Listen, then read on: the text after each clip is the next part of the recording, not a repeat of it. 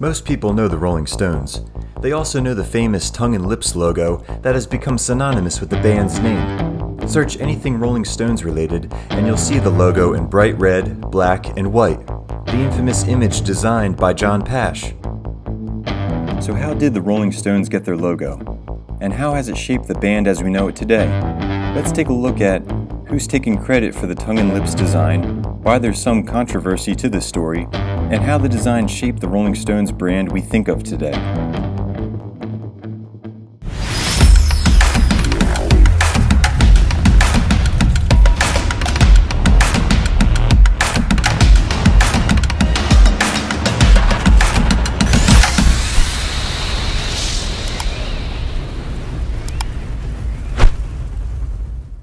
The Rolling Stones were always thinking about branding themselves. From the beginning, Andrew Loog Oldham, the Stones manager at the time, thought about the band's image. At first, he tried getting them to wear suits reminiscent of the Beatles, but Oldham realized a better strategy. Instead of copying what was popular at the time, provide a contrast. He began experimenting with unclean appearances, and eventually the Stones came to embody the long hair, unmatched clothing, and overall unpredictable look they're famous for today. But that was back in 1963, when the band was just beginning. Fast forward to 1971. The Rolling Stones are enjoying a ridiculous amount of success. Sam Cutler is introducing the band on stage as the greatest rock and roll band in the world. The Stones already had a reputation for drug use and what might be called a rebellious disdain for authority. They decided to form their own record label, Rolling Stone Records. But the release of their next album, Sticky Fingers, they wanted to do something different. With Craig Braun's help, they ended up with Andy Warhol's idea to include a zipper on the art cover. Not only did this provide an interactive element to the album, but it also made it even edgier and slightly scandalous. But the Stones wanted a poster design for their 1970 European tour as well. The band ended up contacting the Royal College of Art in London, which recommended the young and inexperienced artist John Pasche for the job. He was still working on his master's at the school. Pasche met with Jagger and eventually came up with a poster design, which Jagger declined. Eventually, though, Pasche got it right, and the Stones used his design as their tour poster. Shortly after, the band's assistant reached out to Pasche again to create something similar a logo or symbol the band could use on programs or notepaper.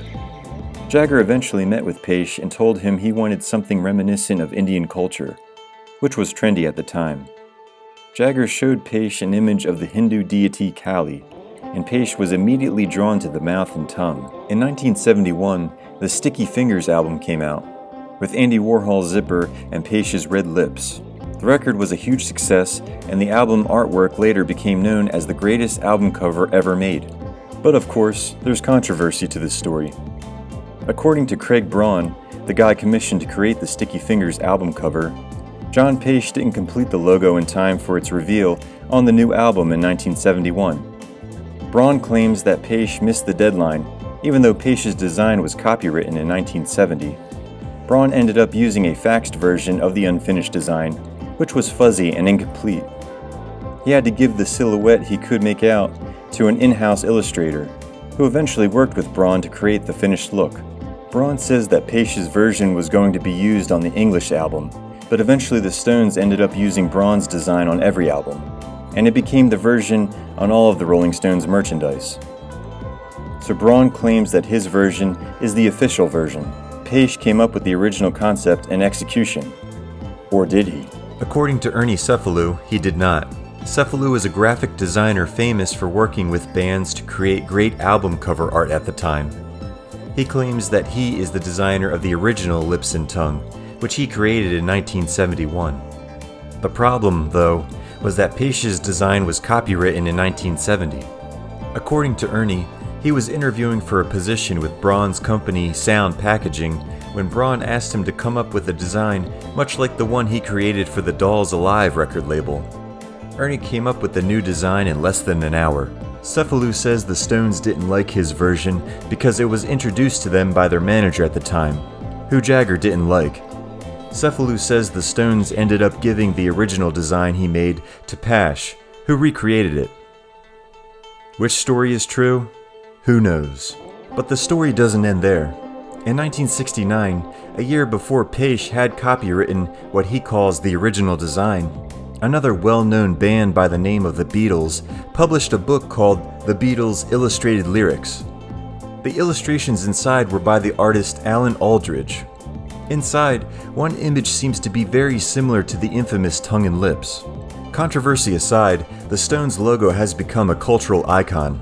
The t shirts, pins, posters, and even inflatables used during the shows have become a branding device beyond anything the band could have hoped for when they first set out looking for a simple logo.